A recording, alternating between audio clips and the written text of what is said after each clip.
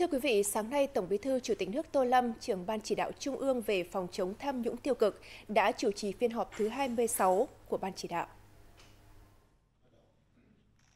Mở đầu phiên họp, các thành viên ban chỉ đạo đã dành một phút mặc niệm để tưởng nhớ cố Tổng Bí thư Nguyễn Phú Trọng. Trong hơn 10 năm làm trưởng ban chỉ đạo, đồng chí Nguyễn Phú Trọng đã để lại những dấu ấn đậm nét trong công tác đấu tranh phòng chống tham nhũng tiêu cực. Ban chỉ đạo đánh giá 6 tháng đầu năm công tác phòng chống tham nhũng tiêu cực tiếp tục được đẩy mạnh quyết liệt, góp phần quan trọng trong công tác xây dựng chỉnh đốn Đảng, giữ vững ổn định chính trị, thúc đẩy phát triển kinh tế xã hội, củng cố thêm niềm tin của nhân dân.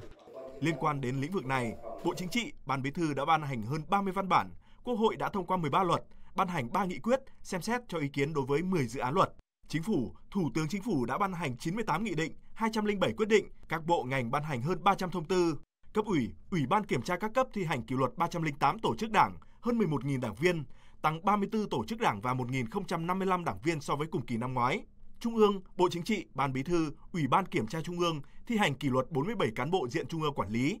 Qua thanh tra kiểm toán đã kiến nghị thu hồi, xử lý tài chính hơn 70.000 tỷ đồng và gần 25 hecta đất, kiến nghị xử lý hành chính 856 tập thể, 3.862 cá nhân. Các cơ quan chức năng đã chuyển 269 vụ việc có dấu hiệu tội phạm đến cơ quan điều tra để điều tra, xử lý. Kiểm toán nhà nước cung cấp 89 tài liệu để phục vụ công tác điều tra, kiểm tra, giám sát. Cấp có thẩm quyền đã xem xét cho thôi giữ chức vụ nghỉ công tác, bố trí công tác khác đối với 14 cán bộ diện trung ương quản lý và 172 cán bộ diện cấp ủy địa phương quản lý, trong đó có 5 ủy viên Bộ Chính trị, một ủy viên Ban Bí thư và 4 ủy viên Trung ương Đảng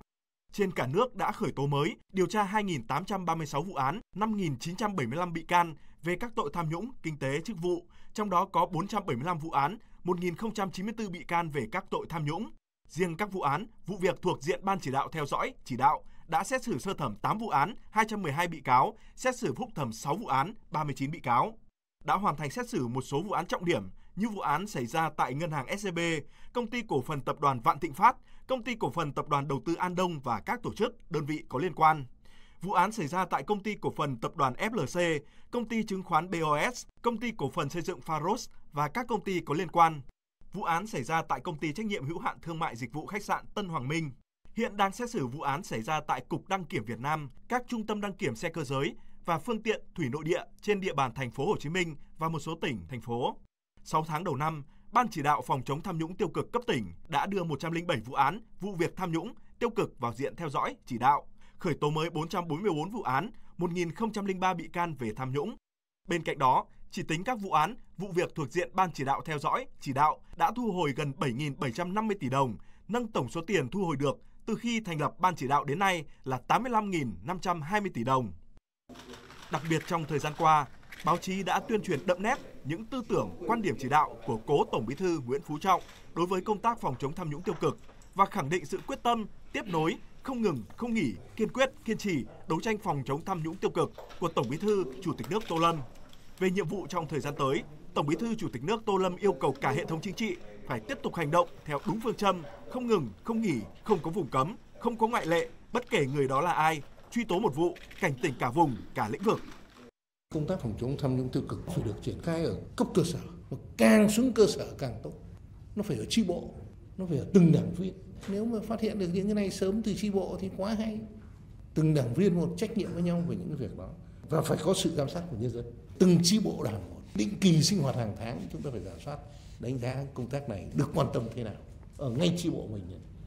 Tổng Bí thư Chủ tịch nước Tô Lâm yêu cầu đến hết năm nay kết thúc điều tra, truy tố xét xử 30 vụ án, kết thúc xác minh, giải quyết 6 vụ việc thuộc diện ban chỉ đạo theo dõi, chỉ đạo, điều tra, xử lý dứt điểm các vụ án, vụ việc liên quan đến công ty AIC, Xuyên Việt Oi, Tập đoàn Điện lực Việt Nam, Tập đoàn Thuận An, Phúc Sơn, Vạn Thịnh Phát, dự án Sài Gòn Đại Ninh Lâm Đồng và các vụ án, vụ việc liên quan đến nhân sự Đại hội Đảng các cấp, phải gắn công tác phòng chống tham nhũng với việc tổ chức tốt đại hội đảng các cấp và đại hội lần thứ 14 của đảng. Không để lọt vào cấp ủy những trường hợp tham nhũng tiêu cực suy thoái. Thứ hai là phải phục vụ tốt cho phát triển kinh tế xã hội đẩy nhanh cái tiến độ xây dựng và hoàn thiện đồng bộ thể chế về phòng chống tham nhũng nhưng mà cũng là cái ổn định để phát triển đất nước. Tháo gỡ những cái điểm nghẽn những cái khó khăn những cái vướng mắc. Không có để cán bộ tình trạng lại không dám làm. Cái vấn đề nữa chúng ta phải rất quan tâm đến khía cạnh tiêu cực nó cản trở cho cái sự phát triển cái suy thoái về tư tưởng đạo đức như đồng chí tổng bí thư nguyễn phú trọng thường nói là nó dẫn đến cái cái tham nhũng thì cái này chúng ta phải quyết tâm nhiều hơn nữa. Tổng Bí thư Chủ tịch nước Tô Lâm yêu cầu xử lý dứt điểm các sai phạm của các tổ chức đảng, đảng viên liên quan đến các vụ án, vụ việc xảy ra tại tập đoàn Phúc Sơn, tập đoàn Thuận An, công ty AIC, tăng cường kiểm soát việc thực thi quyền lực, xử lý nghiêm minh, kịp thời các sai phạm, tham nhũng, tiêu cực trong các cơ quan có chức năng phòng chống tham nhũng tiêu cực.